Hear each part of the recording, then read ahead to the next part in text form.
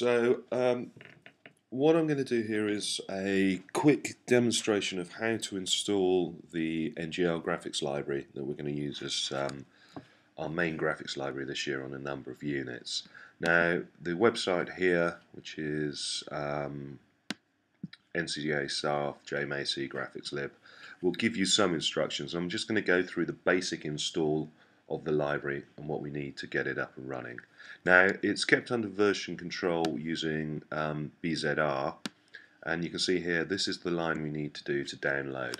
So what I've got here is I'm logged into a Linux box. I'm using my Mac to record this because it's easier to do recording and at the moment I'm at the root of my home directory, so home JMacey, and what I'm going to do is I'm going to download the um, library and um, install it on my machine.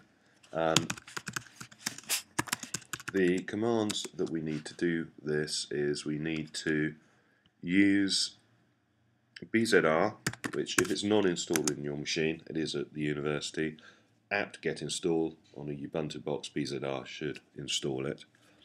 We're going to create a new branch, so BZR branch, and then we've got to tell it where to look. In this case it's http colon backslash backslash ncca staff dot bournemouth dot ac dot uk forward slash jmacey slash code with a capital C and ngl all in capitals.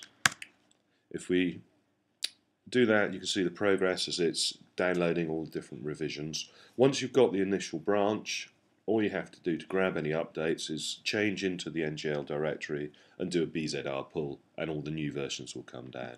Now this is designed to sit in the root of your home directory, this library.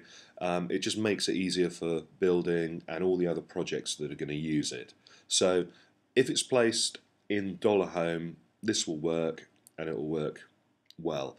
If it's placed anywhere else, it will not work and you will have to start changing configuration files and everything else. So for ease, I recommend that it's installed in the root of your home directory.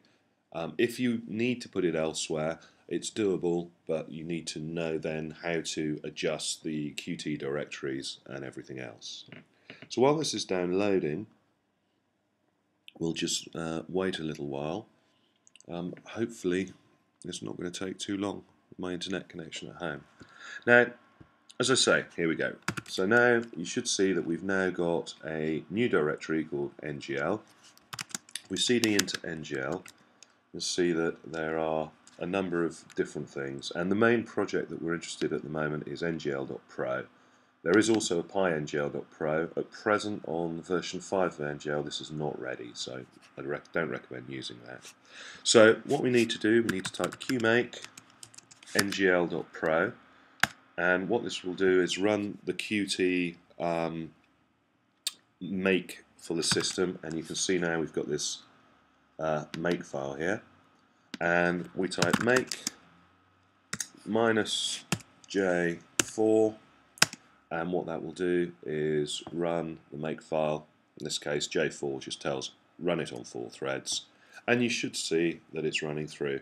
Now you'll see that there are quite a few um, hash warnings there at the moment. This is because I've just started porting from um, OpenGL 2 to OpenGL 3.2 core profile and these are just notes to me that there are certain things that I need to do and to change. Hopefully by the end of next week um, all of this will be done. And you can see it's sort of gradually going through um, building up all of our code and hopefully it won't take too long to um, get that ready. Um, and there you go. Now what we should have in the lib directory is this libngl.so. This is a dynamic link library um, which are applications that use the NGL library are going to access. Now to do this we need to tell the runtime system where to look for this library and the easiest way to do this is to set the LD library path environment variable to tell it where to look.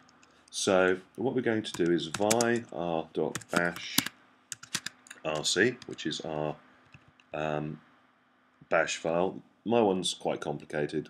Um, I wouldn't worry about it too much.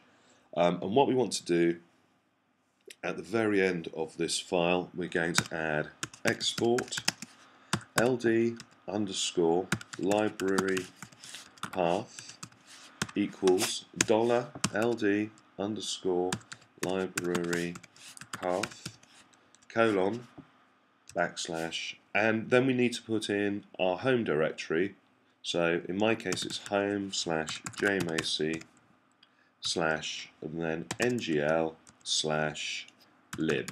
And that's going to tell the runtime um, library linker where to look for the ngl library.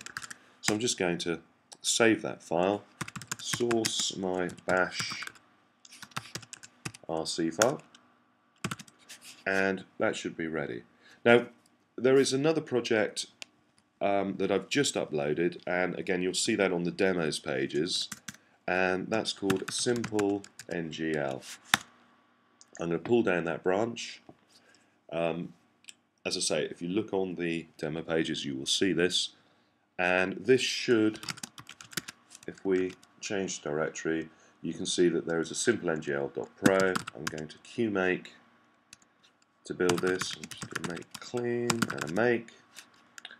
And if all works well, I've not actually tested this on Linux yet, so I'm doing this live.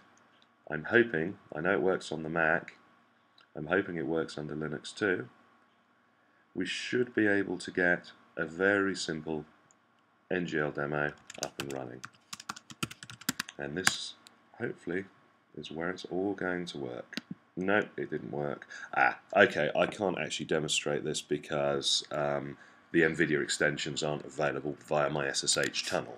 What I can, however, do is show you the one running on my Mac because that will work. So when it runs on my Mac, here we go. It's very simple demo. It gives us the ability to rotate our teapot, translate it, zoom in and out along the camera plane, that's along the Z plane, the camera's at 222. We can go full screen by pressing F, normal mode by pressing N, and toggle wireframe with W and S. So hopefully, if you followed this and it works, you obviously will need to install all the prerequisite libraries and everything else um, which are mentioned on the web page. You should be able to get um, NGL up and running. I will do a series of tutorials um, later to explain lots of other features of NGL as well. That's it for now.